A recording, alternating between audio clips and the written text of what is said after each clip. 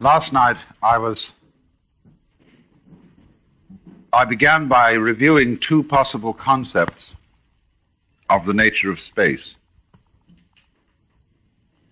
One, that it is simply an abstraction. And uh, projected upon the physical world in rather the same way that we project measurements lines of latitude and longitude, or the cutting up of uh, another abstraction called time into divisions like hours, minutes, and seconds, uh, which are there only on the dial of the clock. The Earth in its rotation doesn't tick. Uh, and time is, of course, thus seen thus simply a measure of change, of the rate of change as between two changing processes the changing process of the clock and the changing process of, say, uh, a person's running around.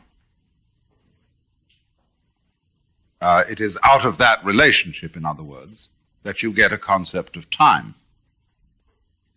And similarly, through being able to measure distances, in a similar way, you get a concept of space. You see, this is one point of view, that it's a, an abstraction because uh, force would be lent to this point of view by the fact that space itself isn't really there. Space is just, just absence. And you must be very careful not, as Whitehead would have said, to reify, that is, to make a thing out of. Uh, something that isn't uh, there at all. Like saying, um, have an absence. Oh boy. Gary Snyder invented a corporation. It was called the Null and Void Guarantee and Trust Company. and its slogan was, register your absence with us. and so I had some business cards made up for it, which put at the bottom, Gary Snyder, non-representative. but this is, of course, Zen humor. Because Zen people are always joking about things not really being there at all. Uh, the, the, the, general feeling of um, being nobody at all, uh, as distinct from being important and somebody, has a kind of inverse humor to it. One becomes a sort of bag of wind. And there's something about that uh, they, the Zen masters call each other windbags and rice bags and things like that. Because uh, the whole idea of taking nothingness for real is somehow funny. The other point of view that I was trying to contrast with this was uh, rather different. And that is that just because they are so imponderable and so unget atable. Space is you. Space is your consciousness. And your consciousness is not something located in your head, although your head is a way in which it's focused. And therefore, consciousness can be altered by a surgeon putting instruments into the brain. But the, the full range of consciousness, or the full range of the mind, is the entirety of space as the continuum in which the universe exists, in rather much the same way as images exist in a mirror. Only here, there seems to be no solid mirror. Uh, there is uh, an infinitely permeable continuum, space. In um, a Chinese text, called the Tanjing, or the Platform Sutra, attributed to the sixth patriarch of Zen Buddhism, Huineng. He has the passage where he says that the mind uh, is like the emptiness of space. Now, he says, if you want to realize this, don't exclude everything from your mind, because if your mind is like space, Space contains the earth and the stars and the sun and the moon and the mountains and forests good men and bad men, enlightened men and unenlightened men. Everything is in it. And so if a person wants to attain an understanding of the mind merely by emptying his mind, he's making his mind small instead of great. So you cannot therefore separate space from what it contains. Because without the content, there's no container. Without the container, no content. And when you see that kind of relationship, when you see two apparently very different things going together inseparably, always find them together, you can smell a rat. For example, nobody has seen any stuff that had no shape, and nobody has ever seen a shape that had no stuff. There's a suspicion here, then, that stuff and shape are the same. And likewise, improbable as it may seem, you can realize that space and solid are the same. Only they are, as it were, the same energy showing itself under two different aspects to a being who always must see things two sidedly, which is man. Man uh, is symmetrical almost, you see, right down this dividing line two sides to his brain, two eyes, two nostrils, two ears, a symmetrical mouth, two arms, two nipples, uh, hips, legs, you see, all balancing except the heart is a little bit over to one side. And, uh, but here he is, you see, this, this two-weight thing. Man is like a Rorschach blot. Uh, he's some mess that was squeezed, uh, folded, and then you unfolded it, and by Jove, it's symmetrical. And it's a very strange thing about that. You can make order out of almost any mess by symmetrizing it in various ways. You, you know there's a, a gadget called a teleidoscope, which uh, is a, a, marriage between a kaleidoscope and a telescope. And uh, you can look at things through it. And because it's got mirrors inside at a 45 degree angle, they will bounce the reflection in a circle, which is very elegant. And the more messy that you, the thing you look at, the more interesting it is with the teleidoscope. Because it is through this balancing process of some sort of symmetry that order comes about, repetition, regularity. So uh, the human being, then being thus two sided, is always wanting to ask, is you is or is you ain't? Is it this or is it that? Answer yes or no. True or false? black or white, and has very diff- great difficulty. The more simple minded a person is, the more difficulty they have in using their conscious attention to uh, do anything but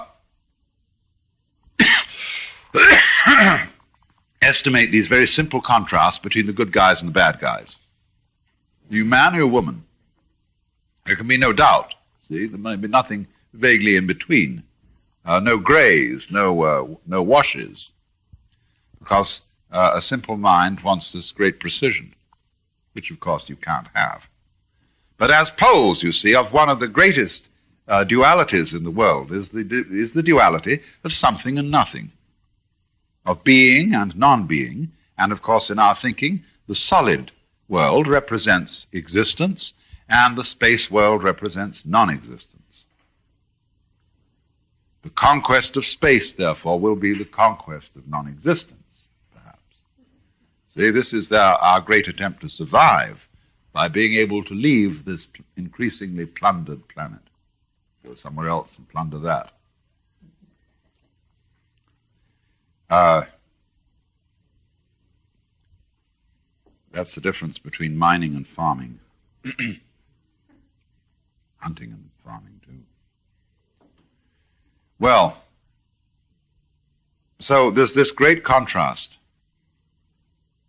of reality considered as uh, what's in the space. The, that's what's there.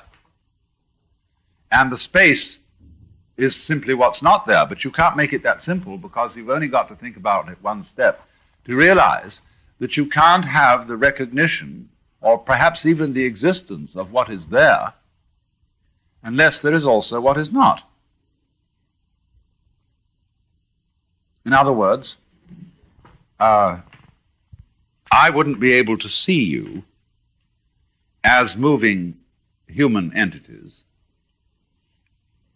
if you were all densely packed in some sort of material medium, like, say, jello, or uh, milk, or uh, whatever, because then there would be no intervals between you to bring you out. You see? Now, actually, space uh, must, in this connection, for a moment be considered from the point of view of optics.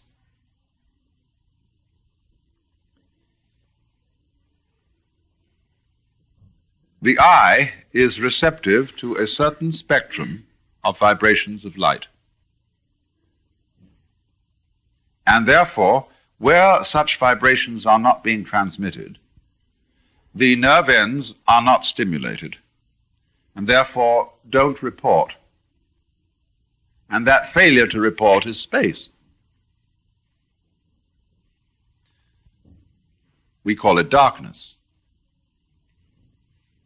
where there is no visible light. But actually, there is nowhere in the universe where there is not some kind of vibration going on, so that if you had an instrument that responded to it, you would see that space was full of, of impulses. And if you saw it all, you wouldn't be able to make out the individual outlines which require these non being intervals in order that their being can be realized, that is to say, outlined, distinguished, delineated, discriminated. So, to see the outline of the being, you must have the intervening space of the non being. But non being means simply in this connection uh, the lack of stimulation of whatever perceptive or perceiving instrument you are using. Now, for example, when you print a book, we say there is empty paper underneath the print. But of course, it isn't nothing under the print. It's nothing so far as print is concerned, but something very much so far as white paper is concerned. Now, do you see in the same way? Perhaps it isn't nothing in which we are living and moving. It's only nothing so far as our visible shapes are concerned.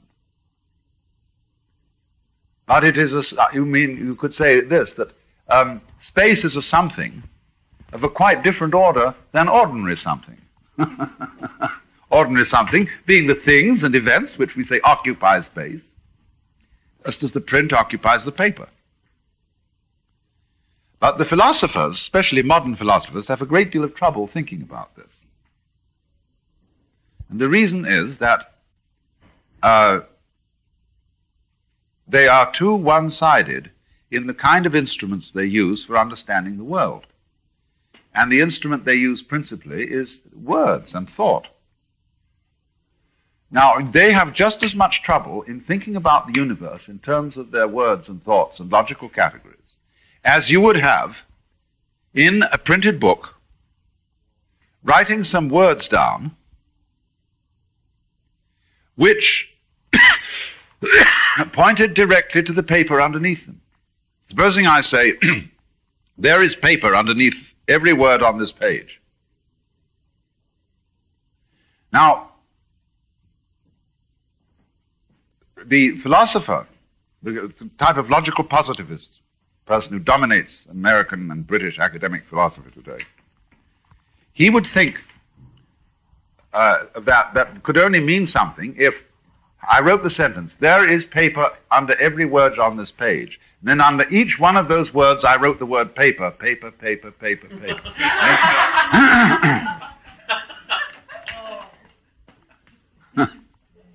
then he would say, yes, that's true. but you see, uh, that, that isn't the way it is. The difficulty is, you see, there is an incommensurability between the print and the paper. If we can stand outside that because we are diverse enough to realize that print is one process and paper is another and they can be put together. But if you are immersed in the print, you can't see the paper. And so if you're immersed in the kind of consciousness which simply discriminates things, you cannot realize the background. That is to say, then, you cannot realize uh, the nature of space when you use only your um, analytical consciousness. The consciousness which looks at things bit by bit by bit by bit, I call the spotlight consciousness. If you use that alone, then you, you can't think anything about uh, the continuum, the ground in which all this flourishes. Uh, but you may then go on to make a mistake. Uh, if, you un- if, you, if you're not following me correctly. And this is the mistake, of course, that these kind of philosophers fall into. Um, if I say now, underneath all distinct things, space constitutes the ground in which they live and move and have their being. This is not quite correct. Because if I speak of space in that way, it makes it just another thing. Of the same kind and nature as all the things it contains. If, in other words, I can think about space, and I can only think about it by analogy, by likening it to paper, to a mirror, to the, the basis, the background. Well, if I can think about it, that makes it a think, which is to say, a thing. All things are thinks. They are as much of life as you can catch hold of in one thought. That means a think. so likewise in German, denken, to think, ding, thing. In Latin, reor, to think, res, thing. So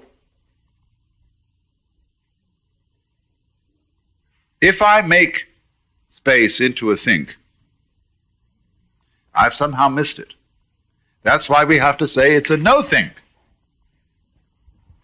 Why there, in, in Buddhism it is said the real nature of mind is no mind. And you realize this in daily life by the fact that when you see clearly,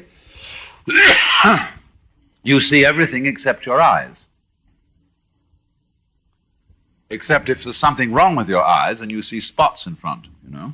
That interferes with seeing.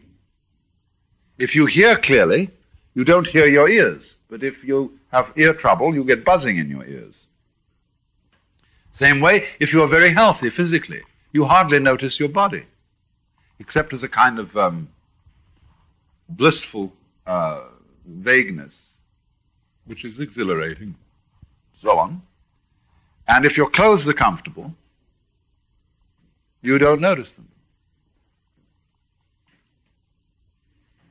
So,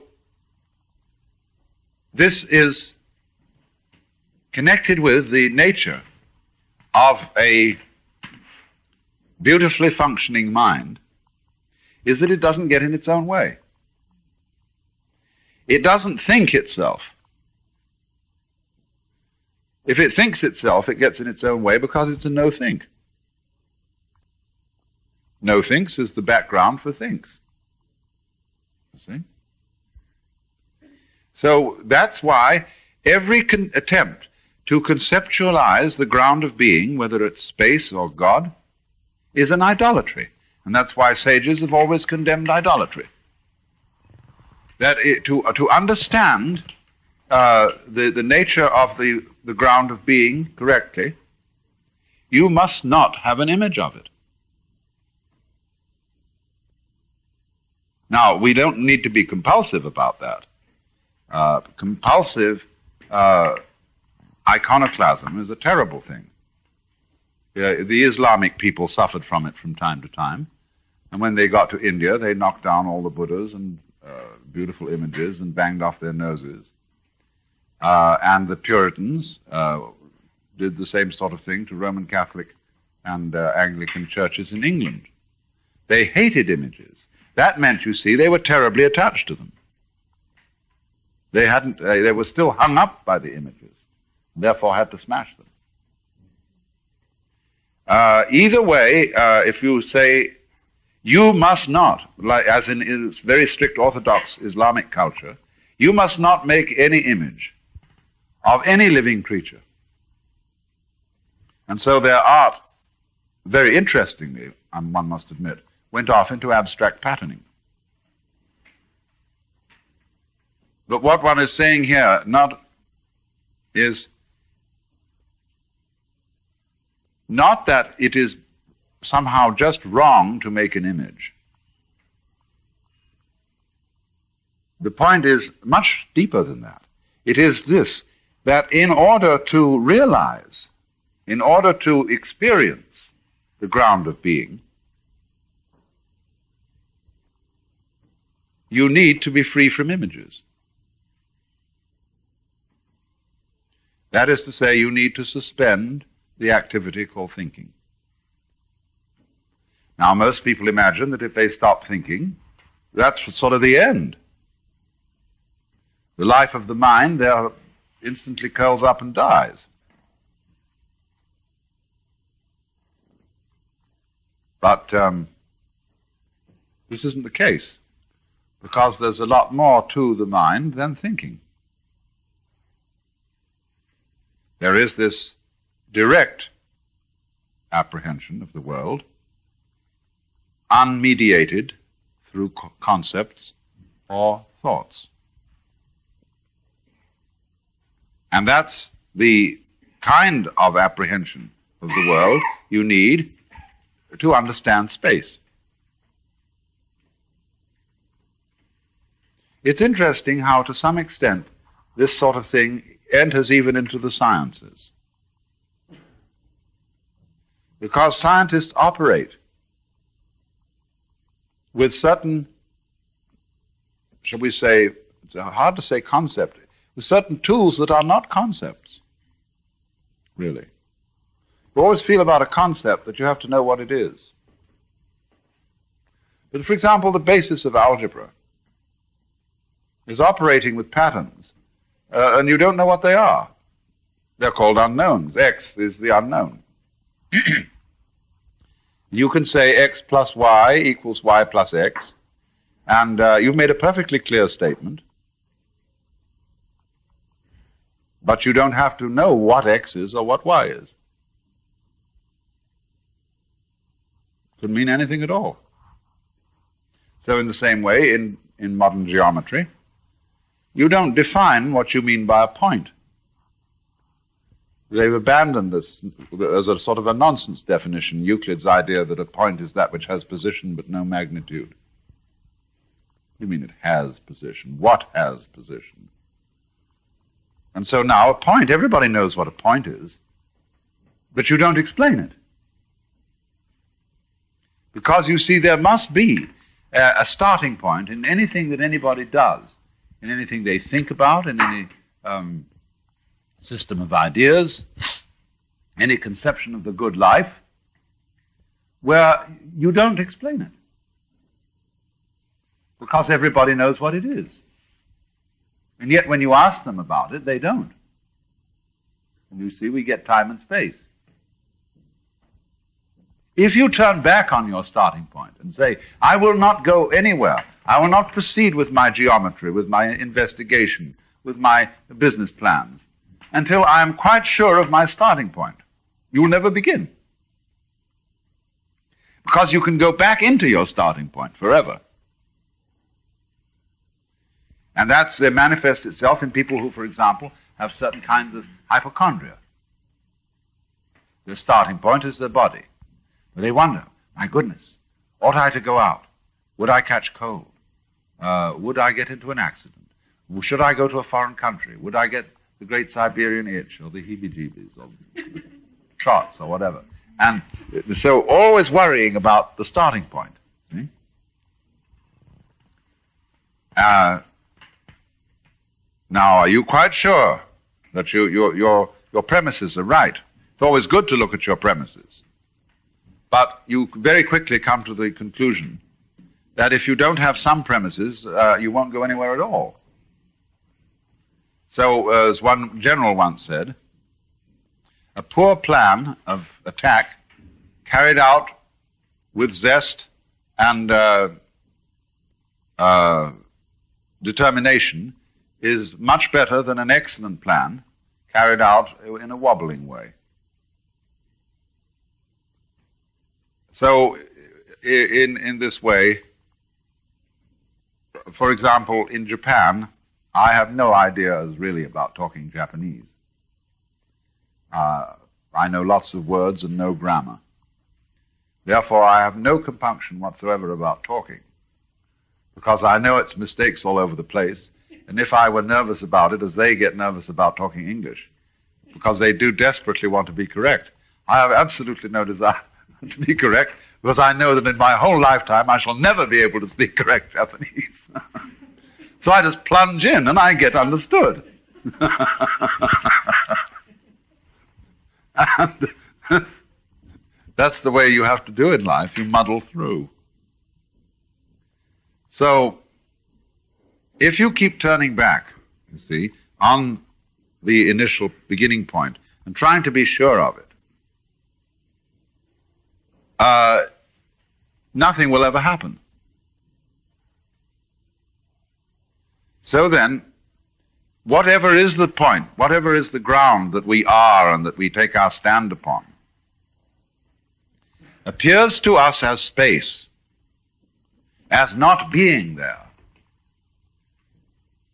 to give us transparency. You see, if God were visible, nobody could see anything but God. Uh, it would blot out everything else. But by virtue of becoming invisible, the world is created. Because, uh, as it were, God gets out of the way so that the world can appear. And the world is a selection. As I explained, the eyes select what they see because they are only noticing what goes on in a certain spectrum of light. If you could change the eye spectrum altogether, you would see a different world of creatures. Flip, flip, flip. You could have the thing like a radio tuner and go on from uh, performance to performance, all on different bands of a spectrum. To see them all at once, though, would be for our kind of intellect like taking your hands like this across the piano and going slam. See, you just get this chaos of sound. So that there being realized objects in space is uh, partly dependent upon our using an attentive and selective type of consciousness. You see, they're the same thing. If you have a selective consciousness, you have a, a selective world. Uh, so putting down the five fingers on the piano instead of the full flat arm selects a certain pattern of sound. And you can say it's a chord, it's a melody, and so on. So when the angels play their harps in heaven, they are selecting, they're the fingers of God selecting uh, what uh, kind of patterns are appearing in the world, you see. That's, that's really what that image is about.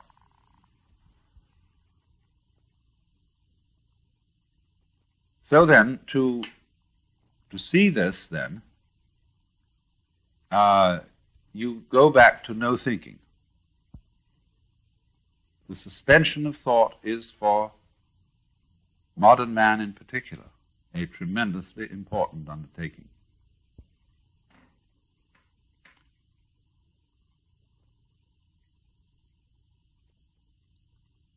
When in about 19 21, Ludwig Wittgenstein published a book called the Tractatus Logico-Philosophicus. It was the end of Western philosophy. Uh, because where he finished, he said, you know, philosophy is really a method for getting rid of meaningless concepts.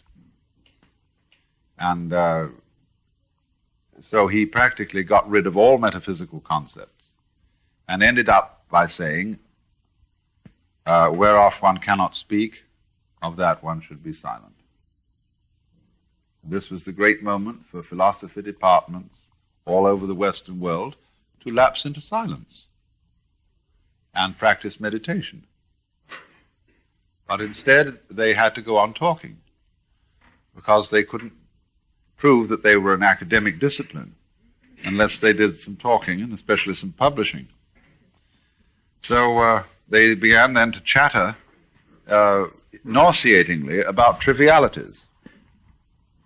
Uh, they became grammarians, mathematical logicians, and things. And uh, everybody forgot about philosophy because it got so dull. It wasn't expressing anymore man's fascination and wonder at the improbable situation of living in the universe.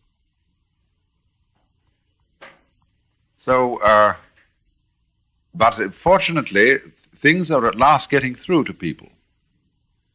And uh, you would not be entirely laughed out of court in academic surroundings today if you suggested that some non-verbal uh, research be carried on. You would have to put it rather carefully. You would have to refrain from calling it yoga or Buddhism or meditation, but it would be sort of uh, research in non-verbal um, sensory awareness or something, you know, some kind of academic gobbledygook. but it's coming. And th- this presents problems to people who are compulsive thinkers.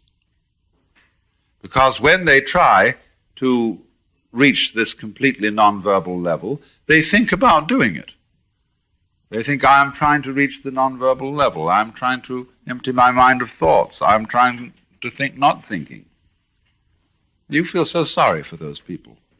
but it is an awful problem if you have it. And uh, to get rid of it, then, one uses gimmicks. One uses methods of absorbing the individual in non conceptual experiences, uh, such as you can play a single loud musical tone and get that going, and it really shatters thinking. It has you just turns you into this, your whole body becomes this one tone. And you get the person concentrated on that one point, you see, go, go, go, go, and zip, cut it off. Then where are you? You Haven't had time to collect your thoughts. You're blown by this tone and all those uh, techniques that are used in yoga, they, when they chant, when they uh, do some kind of physical exercises, when they have a nonsense proposition like a koan to concentrate on, all these things work in the same essential way to suspend the analytical thinking, to suspend uh, the spotlight mind for a while, so that you get back to what is called original mind where you act without thinking. That's why in, in the whole interchange between a Zen teacher and his students, the Zen teacher is constantly challenging the student to respond intelligently to a given situation without thinking, without stopping to think, just as in, say, uh, using judo. You mustn't stop to think. You're lost if you do. You must learn to respond without thinking. So creative skill in so many things depends upon uh, the opposite of thinking. When you examine what people say, what inventors say, what artists say, what um, uh, mathematicians say about the discovery of new ideas, very few of them arrived at those ideas by a purely um, thought, thinking, verbal, or numerical process. And the reason is, of course, that the structures which we have arrived at and we do understand by analytical thinking, once you see them, they tend uh, to stay put. They become habits. And there's nothing more difficult to cure in an individual than a habit of thought. You know, I've argued for hours and hours and hours sometimes with people who simply can't understand knowing without a knower because they are so trapped by sentence structure. The verb has to have that subject. Therefore, you can't have a state of affairs in which there is just the verb, that is to say, knowing. They say, well, who is, who is knowing? And it's as bad as arguing with a flat earthist or a Jehovah's Witness. Uh, impossible. Because of the ruts of thought. Now, such a person can never be inventive. Why? Because he will never see a new pattern and a new structure. And he won't see one because he's thinking all the time. He's not open to the variations of the actual world. And so he can only see what he's been taught to see. That's why academic psychology is always in a position of bafflement about learning theory. Because if learning is a process of converting new experience into the terms of what you've already learned, you never really learn at all. It's like, according to kind of a narrow minded aerodynamics, bees cannot fly. Well, there's no way of explaining the aerodynamics of that vibration, but it flies. and you often come up against this when an inventor has an idea and all his colleagues say to him, Oh, don't be silly. You can't do that. It just wouldn't work. Well, he says, I've tried it and it does work. Or they say, Come on. And very often they won't even try. They'll just say it can't be done. You can get a fantastic dogmatism in the scientific world. And you have to be terribly careful not to upset certain absolutely fundamental, strictly prejudices, which are the result of thinking too much and of getting accustomed to the warm ruts of thought.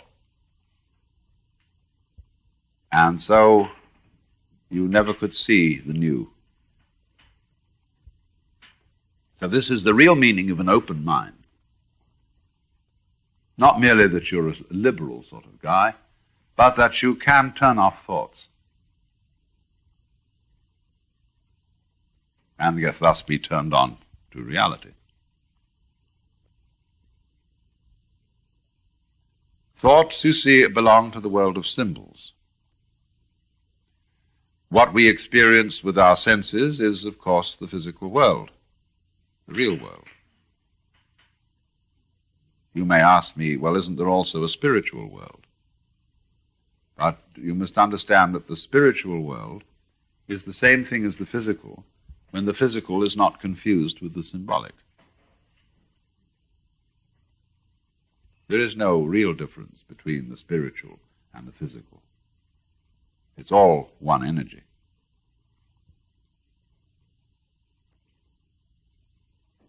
All in one space. Now, you see, though, the difficulty is that in saying something like it's all one energy, this is the, really the point. I mean, if you understand that this whole universe is one energy and you're it, you don't really have any, any much in the way of further problems. Uh, I mean, you have some a few practical problems like uh, how to make a good table or um, a beautiful dress or whatever it is that you're after. But you don't have any more metaphysical problems uh, when you see that. But a person who thinks a lot can't understand that at all. Because he says, well, it doesn't make any difference. If everything is all one energy, let's begin again. I mean, uh, what have you said? Of course, we haven't said anything. Logically, the statement is pure nonsense. everything is one energy. So what? But that's only because the person who has received this communication has had it only as a thought. And as a thought, it's again like saying, there is paper under every word on this page. And thinking that that means that paper, paper, paper, paper. But when this is something that emerges from not thinking, and when you see that um, you've been bamboozled all your life long, you've been bugged by everybody else into thinking that um, you're a, some kind of a freak that uh, came into this world and uh, you don't really belong here because all your probably your parents didn't really want you, and uh, certainly your brothers, older brothers and sisters, didn't want you around. You were eating up more, and uh, in school they tell you, you know, you've got to learn that you're not the only pebble on the beach, and that uh, therefore the best way of teaching you that is that uh, you're really rather insufferable around here, and you're on probation until you uh, are acceptable. Well, babies then grow up, you see, with this treatment, feeling strangers, feeling that the earth is something alien. And so we all have this feeling of, uh, of being alone, of being impotent little puppets of a huge system going on. And so we are progressively fooled out of, really, with our own cooperation fooled out of this sense that you can get if you suspend all these identifications that one does with the thinking process. This is this, this is that. I'm me. What's me is different from so on. You suspend that.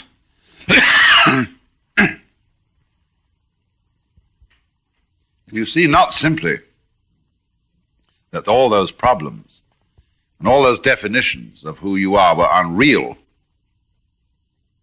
There's something else. You see, there's the feeling beyond having dissipated the illusion of the sheer um, joy and delight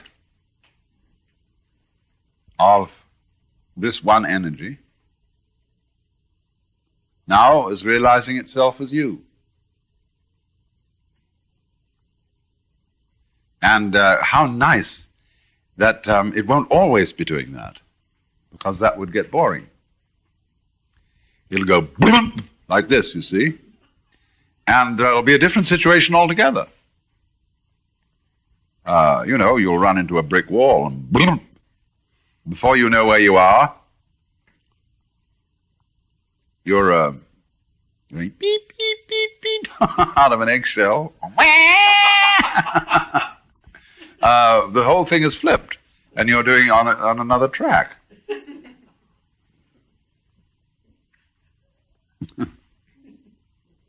but there's only one you, you see. It's all the one energy.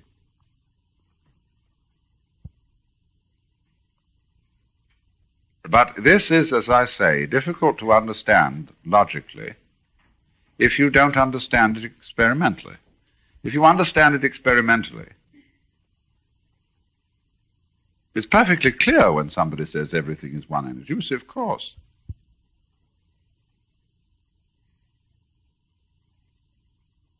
But the person who's stuck with the concepts and has nothing more than the concept can't, can't simply can't make any sense of it at all. And he says, well, you're suffering from a hallucination. And we'll proceed to prove, according to his ideas, that what you've achieved in that has made no difference to you or to anything else. And of course, he can prove it. Because his proof is uh, set up to give just that result. Well, then, I got into that at some length, the, the question of no thinking, because of trying to point out how one uh, must avoid trying to understand space uh, in such a way as to make it a thing. Like a box, you see, which contains all the objects in it. But a no thing, like space, is at the same time in cahoots with things. There are two aspects, two poles, two terms of the same one energy.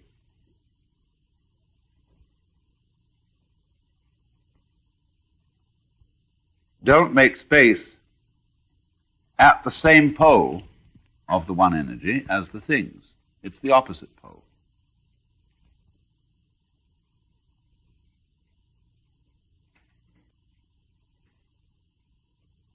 It is then because of our treatment of space as nothing, you see, that we're afraid of death. We are afraid of that pole of experience, which is unconsciousness, that corresponds to space uh, surrounding the world. And because we think that reality, that our life, that our identity is entirely in the domain of consciousness and thingness and thinkableness. The other pole seems completely threatening. Whereas, of course, it is that on which it all depends, because the two poles depend on each other. They energize each other. So when you um, are scared of the non being side of things, you are, as it were, frightened of your own mother. Now, of course, you may have reason to be because there are such things as devouring mothers. But the devouring mother represents uh, the original horror felt for the unknown. And uh, in practice, in human relationships, uh, the devouring type of mother is precisely the person who cannot come to terms with her own unknown. Therefore, she wants to control everything. She wants to see that all her children remain perpetually under her dominance. But she can't let go. As if she let go, you know, she'd become uncorseted and flop all over the place, as it were.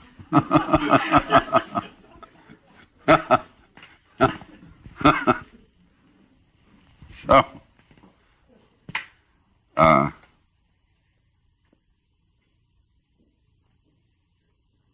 she becomes the devourer. But you always conquer the devourer by dropping into it.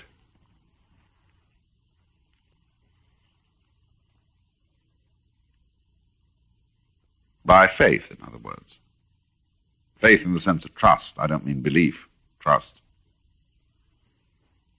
Drop into space and you float. See, this is only begins to be understood by rocket people as they get out there. And we're going to have, I don't know how the psychology of this is proceeding, but we're going to have an awful lot of people getting out in space and not wanting to come back. Because uh, when you're in orbit and you float, very interesting sensation. And they have to follow very strict rules. That same way you do with uh, skin diving when you get to a certain level of pressure, uh, you start floating and you feel no, no body weight. And uh, you have to absolutely keep your will going. When the watch says a certain thing, up you go. Orders is orders, you see. Otherwise, you drown in great delight and bliss. so. So uh, the point is, though, that uh, we are at the moment looking at space as something to be entered by the tremendous thrust of a rocket. Because that is the attitude of attacking the unknown. And that causes us not to realize that we are already on the most magnificently equipped spaceship which could hardly be improved upon. It has got a, a source of temperature and energy just at the right distance from it. It's beautifully equipped with oxygen, with food supplies, with all kinds of um, uh, delightful things to do while on the journey. And it's traveling through space at a colossal speed. And it's called the planet Earth. The art of exploring from the planet Earth depends not on conquering space with uh, rockets and bombs, but on developing greater sensitivity in the place where we are. Lao Tzu said, Without going out of my house, I know the whole universe. So, by uh, clumsy beginnings of this sensitivity are seen in radio astronomy. But instead of trying to leap out of the world, it stays here and gets more sensitive. And eventually, I feel that we shall discover each one of us have inside our heads a radio astronomical contraption of great subtlety. And uh, we shall eventually, the more we use instruments, we shall begin to watch a process which I will call etherealization. What at present we call miniaturization is connected with this. Miniaturization means that electronic equipment becomes smaller and smaller and smaller until what was originally a great box like this becomes a tiny, tiny little thing. Little tiny cell. And so, in the same way, as uh, certain techniques advance, all kinds of joining lines, like wires, begin to vanish. See, when radio substitutes for the telephone, all the wires vanish. When um, the airplane substitutes for road and railway, all the roads and rails are going to vanish. See? And uh, more and more we find means of getting rid of the clumsiness of primitive technology. And then, as all this apparatus disappears, we find